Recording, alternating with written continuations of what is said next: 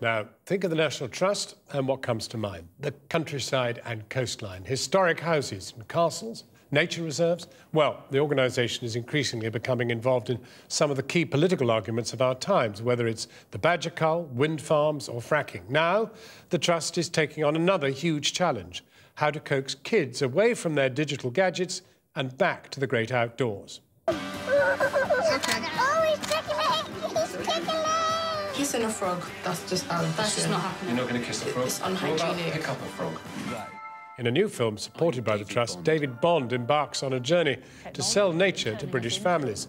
Troubled by what he sees as the growing ranks of children in their bedrooms in front of screens, he appoints himself managing director of nature and sets out to get more kids outside. In a moment, we'll be talking to the Trust Director General, but first, Victoria MacDonald has been out in the countryside to look at the battles the organisation is fighting.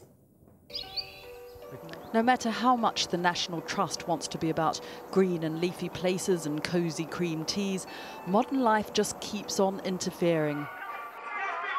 Today, it's fracking. They could perhaps support it, according to the Trust's chief executive, but they probably couldn't support wind farms. And of course, there's housing and the thorny issue of greenbelt land and whether there should be more building on it. Bookham in Surrey is a case in point. The National Trust was one of a number of groups who successfully objected to a development of 81 houses on this site. James Simpson from the local planning group Bookham Vanguard took us past the now open fence and the missing developer's sign. I don't want to see this go down to house and not really. No, it's it's it's been it's been a public access right away for well, since I came into the village in 1976. And, it's, um, And the National Trust objected for much the same reasons because this is on Greenbelt land. Yet there is a tension for the National Trust. There are some who say they're standing in the way of progress, be it new houses or wind farms. While there are others, like those in the villages around here, who see them as a line of defence against the destruction of their countryside. Houses need to be built, but not on green belt.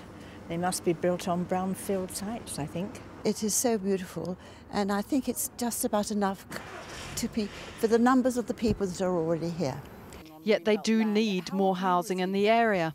Well, I think we've received mixed messages from the present government, to be quite honest, and and all the sometimes what the government says is not always what, what actually happens.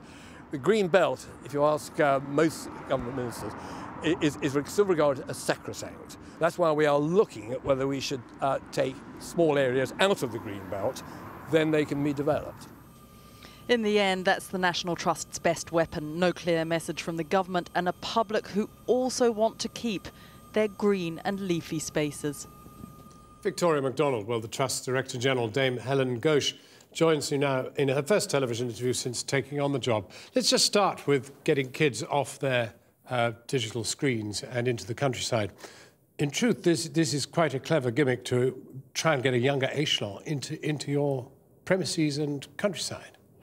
Um, well, our purpose as a charity uh, is to look after special places forever for everyone. And when you take that bit about forever, the future generation, the future generation, the children we saw on that film, the uh, four in, uh, uh, we only have, we know that about only about 20% of children get outside into the country and connect with nature.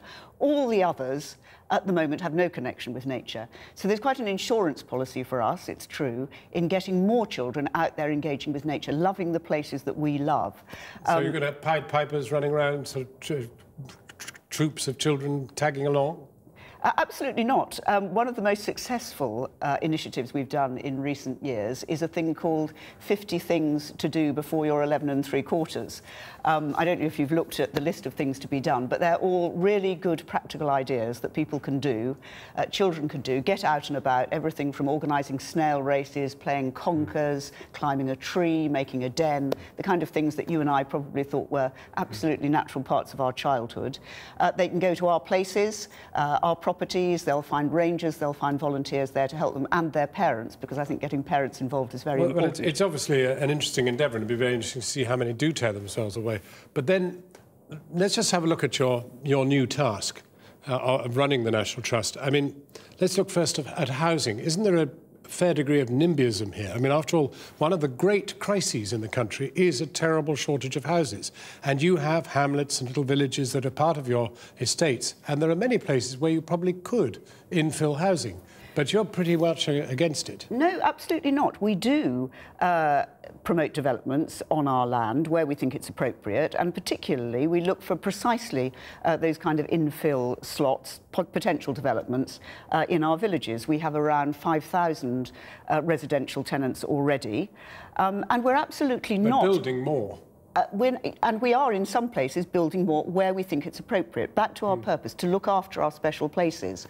Uh, so all the issues, all the decisions we make come back to that point about how does it help us, on behalf of the nation, look after what is, after all, their backyard. Uh, we look after Britain's backyard, but there, uh, there not are, just our own. There are some of your tenants who say you don't look after them, and they've complained very loudly that uh, they've been neglected and that in, some of them being thrown out and others uh, don't get the repairs they ask for and generally life hasn't been so good for them.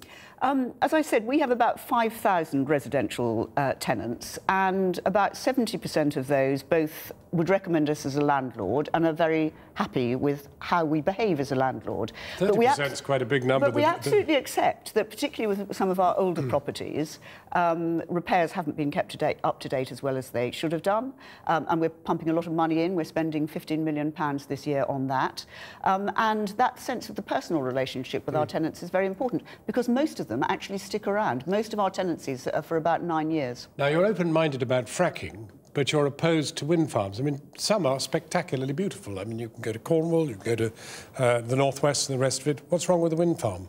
Um, we are worried about carbon emissions. Uh, we're worried about carbon emissions and climate change because of the impact on some of our wonderful places, you know, our coasts that are falling into the sea. Um, and so what we are looking for is low carbon energy that fits with a landscape.